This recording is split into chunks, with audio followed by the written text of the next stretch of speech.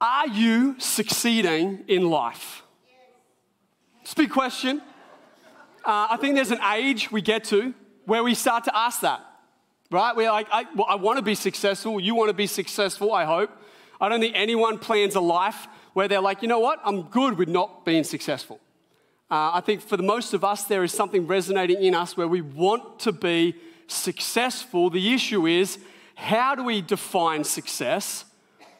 Or what do we put up as the goal for success?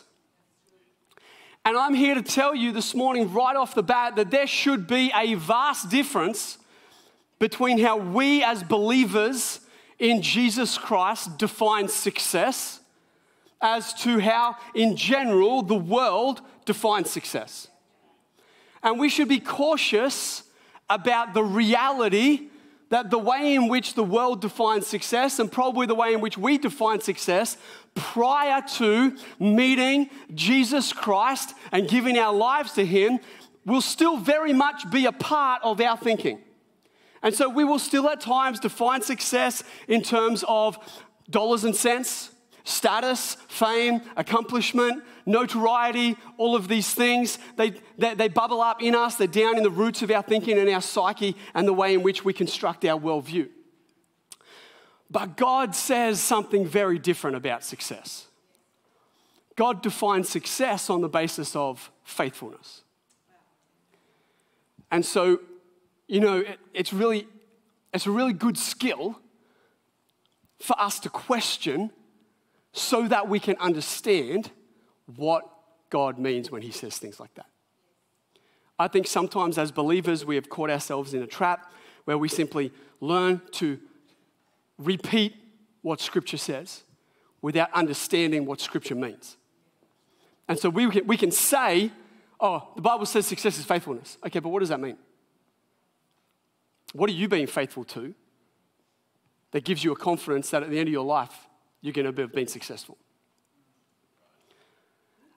And so there is a journey that we should engage in where we want to understand what we say we believe.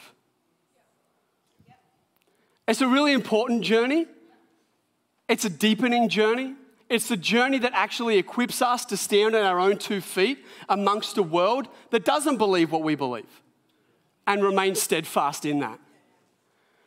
There is a critical importance in us doing a journey of understanding our belief not just repeating our belief.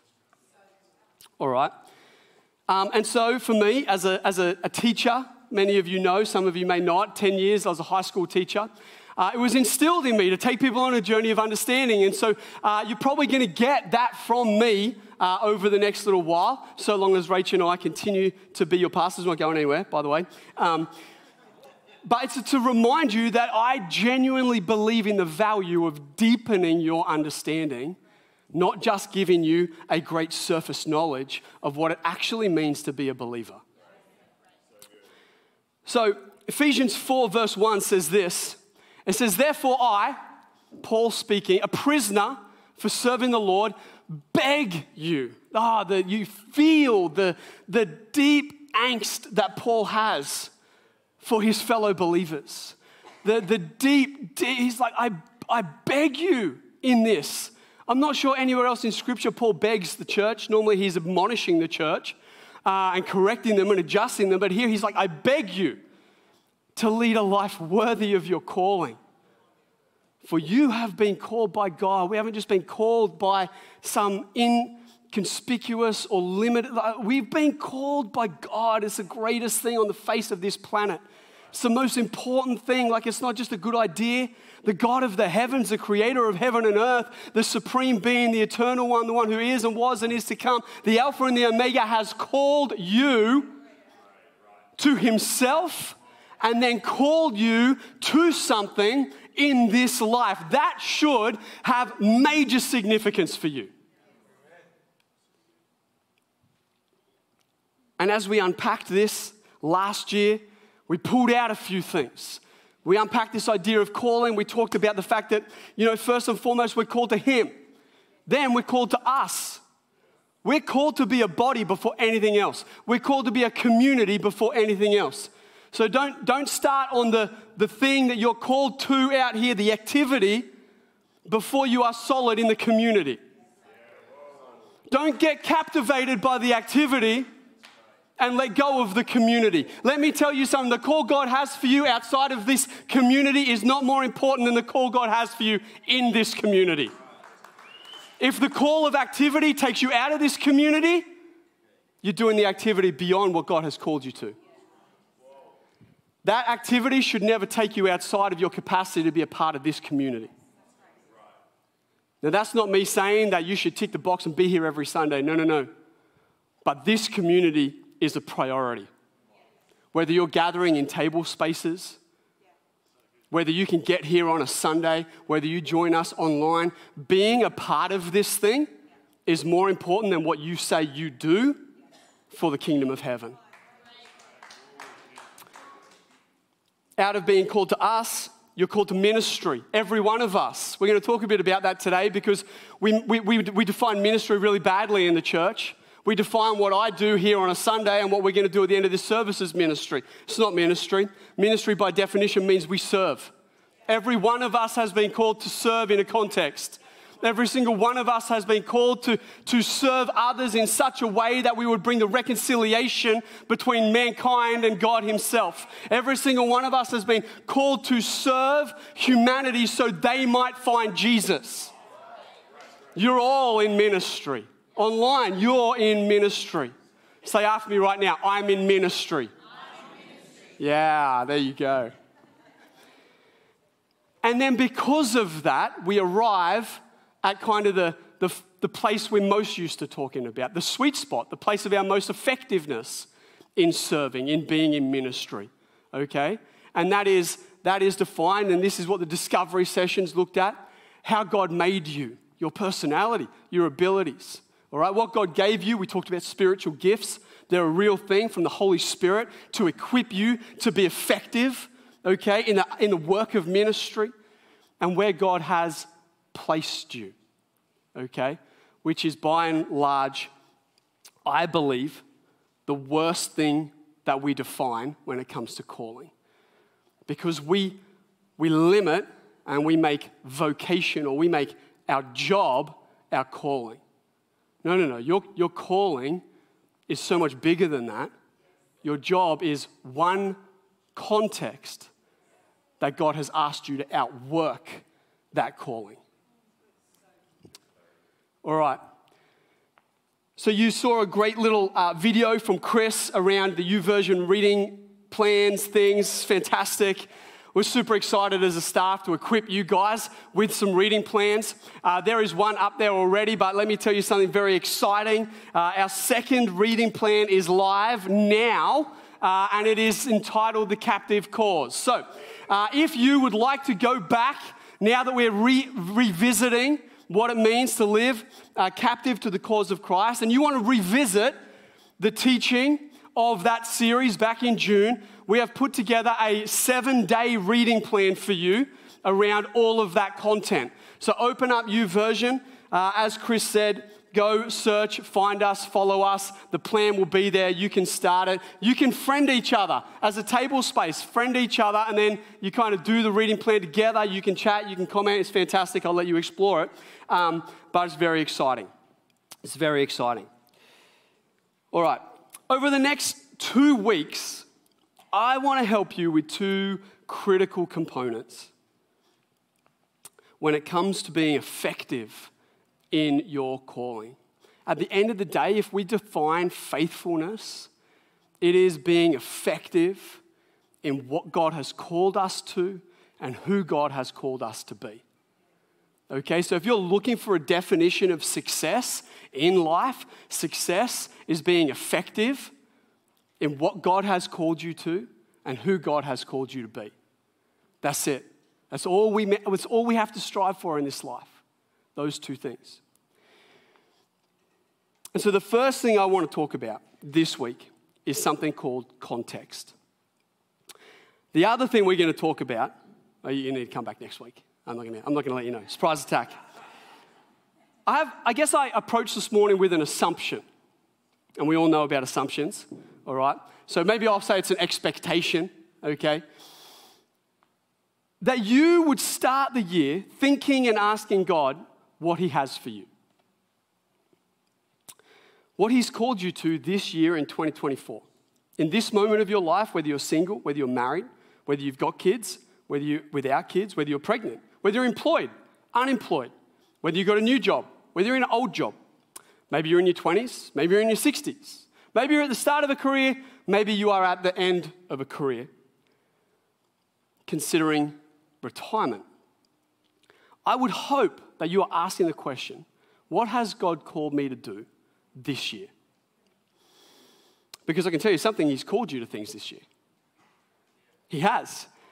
He has. Romans 8 28, we all love it. We all get it tattooed all over ourselves and get it cross stitched and stick it on our wall. It says, And we know that God causes everything to work together for the good of those who love God and are called according to His purpose.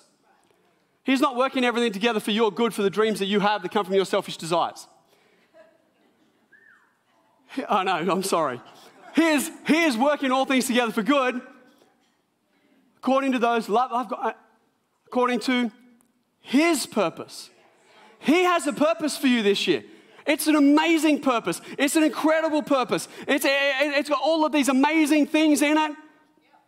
All right, I asked my kids uh, yesterday, we're trying to get the house ready, right? And, and I had to do some things. And I'm like, who wants to come to the shops with me?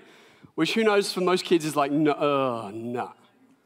Right? But what they didn't know is that I had planned to get them something at the shops if they chose to come with me.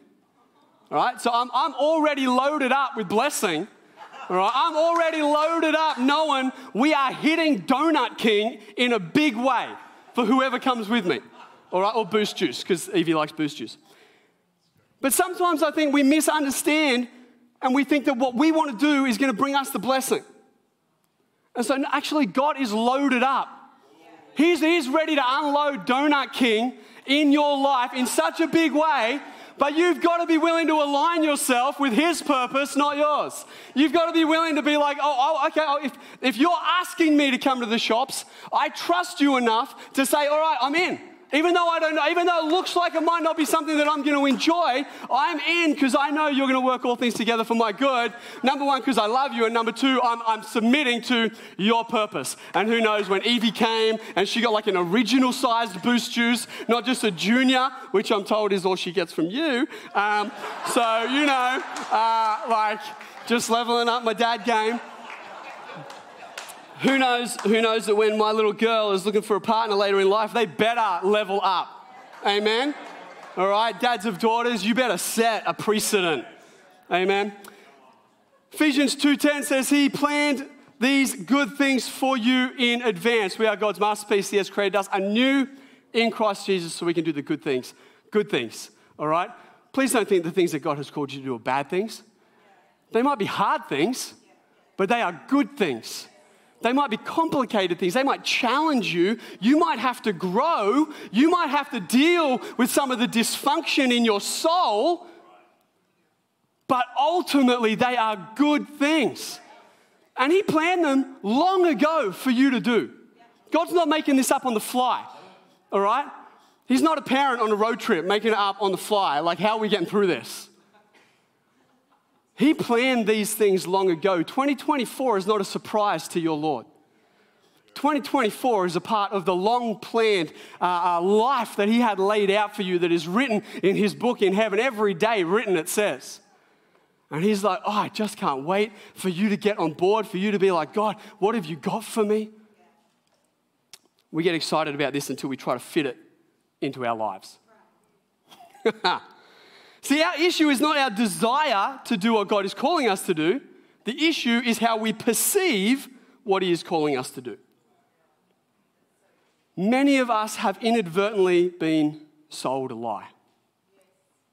We have been sold a lie that our calling is this spiritual activity that we are supposed to find and add to our life.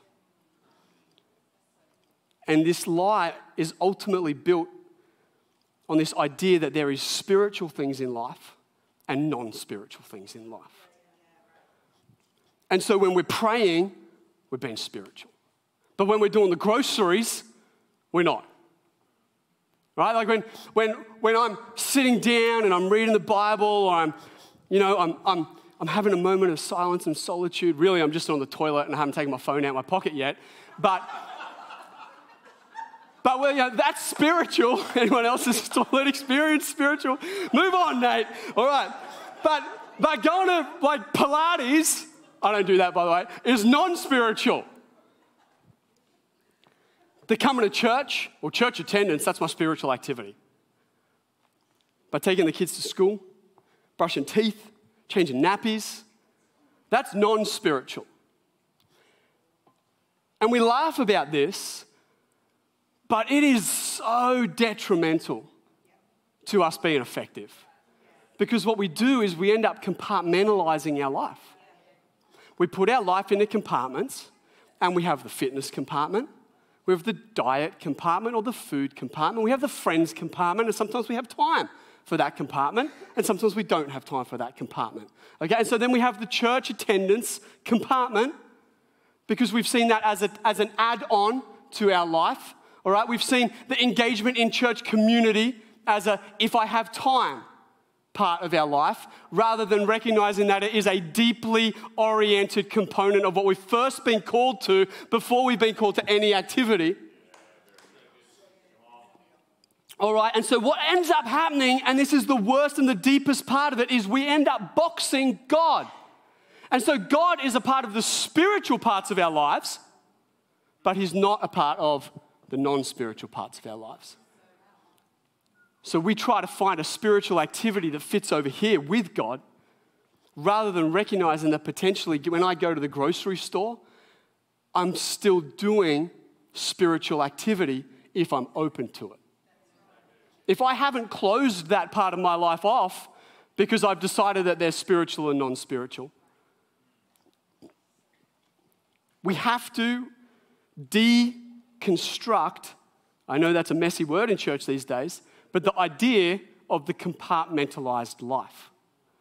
We have to understand that that's not what we've been called to. We've been called to a life of wholeness, of trueness, that we are truly who we are in, in every space.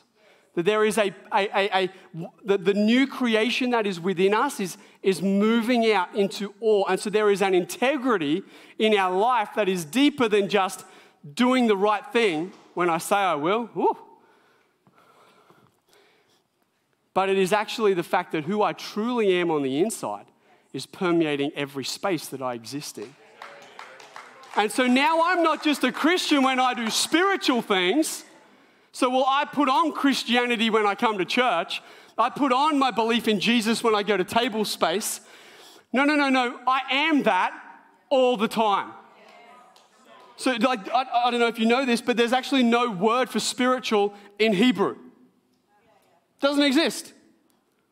To, to, and, and, and again, reminding ourselves that the whole, pretty much the whole first half of the Bible is written in Hebrew. So understanding that, that there's, you know, there's not even a word, because there's no differentiation.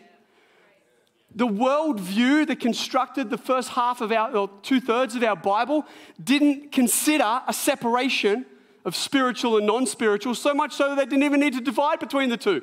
They didn't need to define a word to separate the two, it just was. Everything is spiritual. Going to the grocery store is spiritual. Changing a nappy is a spiritual experience. Sometimes it's because things need to be cast out in the name of Jesus. All right? Amen. Cooking a meal is a spiritual experience. Where's everyone who loves hospitality? Who knows, preparing a beautiful table for people to come and gather around is a spiritual activity, right? We bring the gifts the Spirit has given to us into a context where they're able to be enjoyed and experienced by other people. We are creating an expression of our spiritual nature in real life.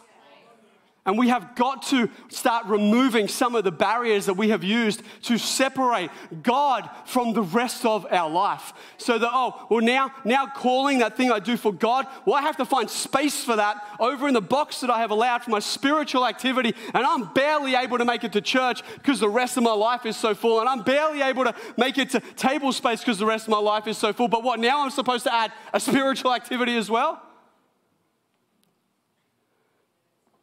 The danger in all of this is that we end up these boxes and that thinking causes a deep dissatisfaction with our life.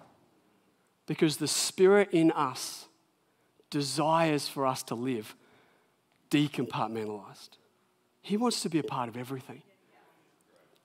And when we box him and we live with this sense of, well, it's spiritual over here, but not over here, and we keep him out, there is a, there is a, a, a dissonance deep inside of us that we often can't put our finger on, but it, but it comes out as dissatisfaction. We just can't get satisfied with life, and we end up trying things and we end up changing this and changing that. And really, we're on a pursuit for satisfaction, but we don't realize the satisfaction or the dissatisfaction is not oriented around what we are doing or not doing. It's oriented around the fact that within us, we have separated the Spirit of the living God from all of our life, and we have kept Him in a little box, and He wants to be permeating through all of us. And so there is this dissonance in our spirit, and we get frustrated. And we get annoyed at the church because the church is putting all these expectations on me. And we get, we get bitter at people that seem to have sorted it out.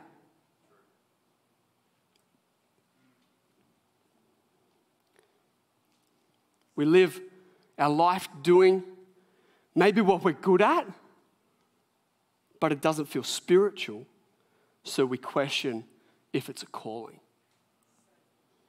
And so we come in a series like this, and you have your pastor saying, You have got to be about the call of God on your life. And you read scriptures, and you're like, Yeah, I see it. I see that I should be doing this. But even in that, you have separated what you are doing and what you're good at and what brings you joy and what you feel fits with all the stuff we did in the discovery session. You're like, Well, that all fits what I'm doing. But deep in you, there is this lie that has separated that from it being a calling. And so now, now you're like, well, you're like this on the inside. And you, you're living with this dissatisfaction and discontent and frustration, and it just curdles away on the inside. This affects men in particular. Can I be honest? Something in us is hardwired for purpose. We thrive we thrive with a purpose, right?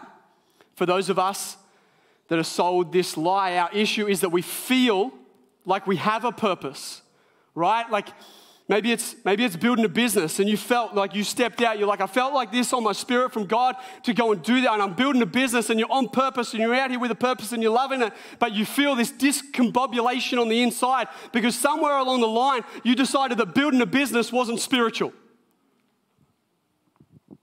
And so, although you feel like you're on purpose over here, you feel disconnected from the purpose that should be spiritual over here. And so now you feel like you, you, the purpose you love and you want to like keep driving for is disconnected from the purpose that you should have. Being a dad, being a doctor, being a lawyer, being a teacher. I don't know what it is, but man, we we so struggle when we do this. We compartmentalize God out of our job. We compartmentalize God out of our parenting. We compartmentalize God out of our marriage. We compartmentalize God to the spiritual activities. And the thing is, we get so much satisfaction from purpose that over here, we're doing things that actually make us feel good to some degree. But we, we lie to ourselves thinking that, well, but I should be doing something over here that makes me feel good. And sometimes the things over here don't feel good. Reading the Bible's hard or praying's weird. And so you don't know what happens? We slowly drift. We drift out of the spiritual activity to what makes us feel good. Because we have this desire to satisfy this need for purpose. And men slowly but surely drift out of community because they haven't been told that what you do over here is deeply spiritual. In fact, God has a purpose for you in this place over here. God positioned you here for a reason. He positioned you here on purpose. He told you to start that business for a reason. He told you to become a teacher for a reason. He told you to become a dad for a reason. He gave you your spouse for a reason. And it's far deeper than you think because it's spiritual. And I'm here to tell you right now this morning that you don't need to disconnect the spiritual purpose that you hear about in this place from, from the purpose that you have constructed over here that you think is non spiritual. No, no, no, no. They are the same purpose. There's one guy who's happy about that in the church. Yes. Come on. Don't get me started with time because we always use our time according to what we value. You can't get away from that. We can make excuses, but the truth is, our, our, our calendar indicates our values. And so, men, again, when we're getting more joy over here than we are over there, do you know what we do with our time? We fill it over here. If you realized the value of the deep calling you have to community, and that in that space, the Spirit of God fuels you for what He has called you to over here, you would never devalue community.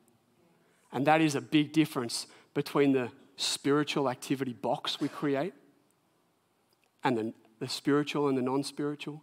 It's understanding that first we're called to us and out of us, we are encouraged and built up and reminded that we are the body of Christ out extending the kingdom for Him. And suddenly you're reminded that everything that you're doing all through your week is building the kingdom, it's extending the kingdom. The only question you have to ask is God, what does that look like this year in the space that I'm in?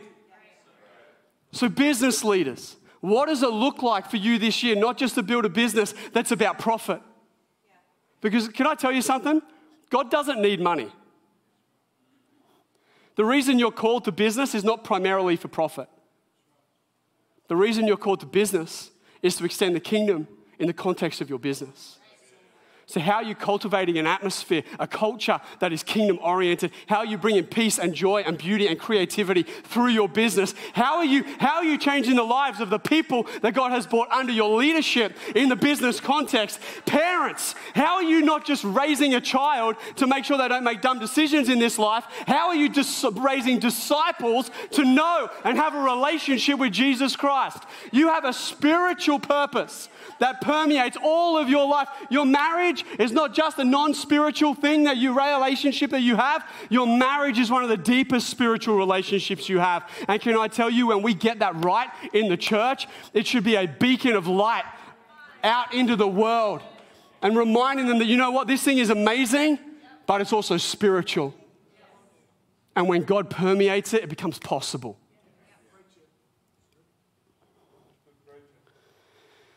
I've got to land this plane. We're going to pray for some people.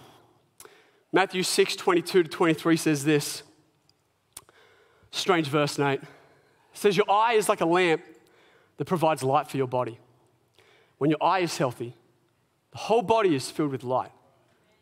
But when your eye is unhealthy, your whole body is filled with darkness. And here's the crux. Here's like the Jesus ramming it home. If the light you think is actually darkness, how deep that darkness is. This scripture is talking about perception and deception.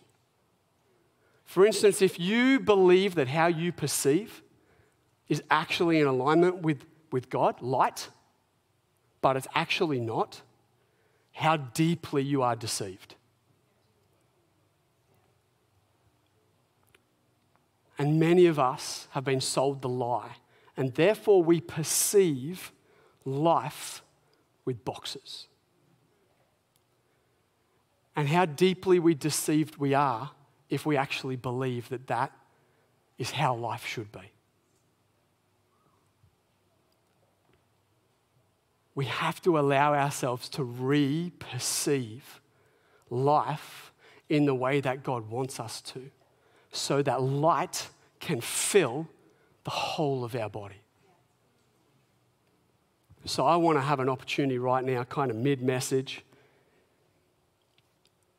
to pray that people, you guys would have eyes to see. That even right now, maybe you would begin to see that you have compartmentalized God. You have created this spiritual side to life, and this non-spiritual side to life and you are suddenly seeing it's like it's like what you thought was light but it's really darkness the way you perceived it actually was was, was a deception right you are starting to see that oh my goodness i've been doing this wrong and that as you see afresh that God has actually everything with Him is spiritual. Wherever you go, whatever you do is spiritual because you're not, you're never separated from Him. He lives within you. It's, it's always a spiritual activity because we are spiritual beings. We can't do something separate from who we are. We're spiritual. It's spiritual. It's just that it's in our thinking. Our perception has caused ourselves to be deceived into separating God out of the spaces that He has actually positioned you in. And so I want to pray right now. Can we bow our heads? Is that right? Just really quickly, just bow our heads. If this message is speaking to you and you feel like, wow, I've just realized I have compartmentalized God, and in doing so, I am living in some of that discontent, some of that, I, am experiencing the separation of spiritual and non spiritual. Can you just wave at me a little bit? I want to pray for you. Yeah, wow, awesome, awesome. Love it. Lots of, lots of men. Fantastic. Father, right now, I'll pray a simple prayer for those online responding. Eyes be opened in the name of Jesus. Even now, I believe you're going to start seeing the context of your workplace as a spiritual positioning You've been positioned there on a spiritual mission and purpose. And it is to bring the kingdom into that place, to bring creativity and excellence and joy and peace and light and life into that place. Those that are leading people, you have been placed there to lead them in such a way that they grow and develop and you can influence them for the kingdom of heaven. I pray you would begin to see the reason you've been placed in the family you have, with the wife or the husband that you have, or the kids that you have. You've been placed there with spiritual purpose. In Jesus' name. In Jesus' name.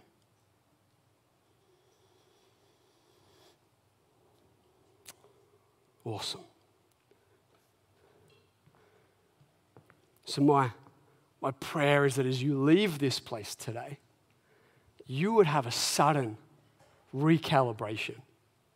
That all of your life is to be lived undergirded by a spiritual purpose, a purpose that is twofold.